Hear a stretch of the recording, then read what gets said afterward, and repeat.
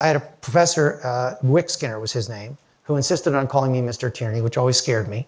And he was one of these quintessential old time professors with a bow tie. He lives in Maine, he's now in his 80s, he's a close friend. He invites me over to his house one night, and, and I walk in and he, he says, Have a seat. And then he said, Never get comfortable. And being kind of dumb, I thought he was talking about the sofa I was sitting on. He was not talking about the sofa I was sitting on. What he meant was, Do not be complacent. Never get comfortable. Do not feel like everything is a okay.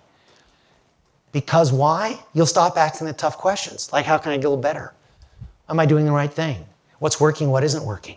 So this notion of I want to get better. I'm going to ask my tough questions. I'm going to raise the bar higher and higher is central to successful philanthropy. That's why we organized Give Smart around six questions. There are six questions around philanthropy, but those questions have a little more power than that. Here they are. The first three are strategic. For a philanthropist, they're strategic. What are my values and beliefs? That's a simple one.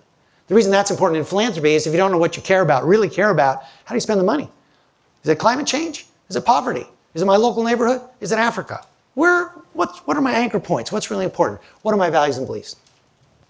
What is success and how are we going to achieve it? Success, boy, that's an elusive thing. What's a successful life? Depends on you. Your definition. What is success if you're giving money or, or you're trying to change a po- policy? Or what does success look like? It's a tough question. Third question is a real toughie. What am I accountable for? Accountable? Me accountable? I'm just writing a check. I'm just volunteering. What am I accountable for? Those are strategic kinds of questions. The back half of the book are more execution questions. What is it? What does it take to get the job done? Most things in life take longer and cost more. Guarantee it. Little postulate, put it in the bank, no matter what you're doing. Your car breaks down, it will cost more to fix it than you expect it to. It just will, no matter what. And it will break down again. Everything tends to cost more and take longer.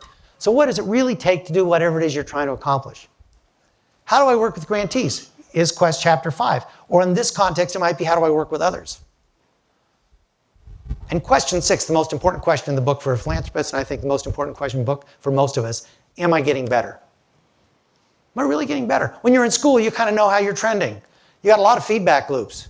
You're getting grades, for better or for worse. You can track it over time. Maybe you're getting jobs. You're looking at this. There's a lot of short-term feedback loops. Out there in the real world, the feedback loops are a little bit more distorted, not just in philanthropy, but in everything else. You work in a company, you get an annual performance review. Maybe useful, maybe not useful, but once a year is not enough.